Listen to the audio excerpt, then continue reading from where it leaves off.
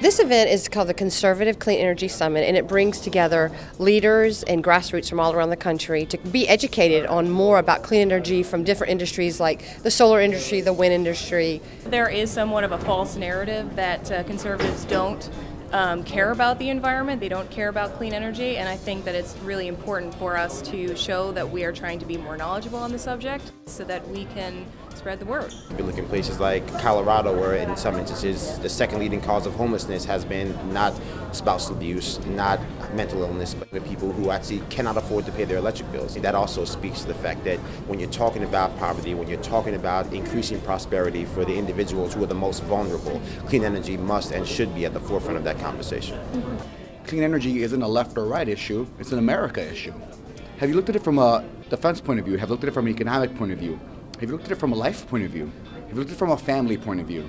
This is something that's going to make America better, stronger, independent. Puerto Rico is a perfect opportunity for us to test out how microgrids could give us greater access to more quickly restoring power.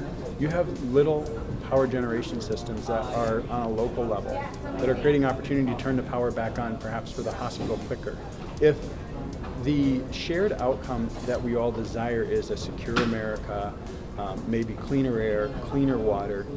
Does it matter as much if the reason I'm working on this issue is because climate change is my number one issue or if national security is my number one issue. I know there's a lot of people that say there's no such thing as climate change or there's no such thing as uh, global warming. What I will say is that where I'm from, Republicans tend to be more uh, moderate. You can use man made, innovative things to reverse a lot of the environment defects that we have. The interest of a self-sufficient future. Uh, we have to achieve energy independence. Uh, being able to be less dependent on foreign sources of energy is just a net positive across the board. And it's important for us to re, you know, rethink, re-examine what does conservatism truly entail, and then make sure that we are actually staying true to those core tenets.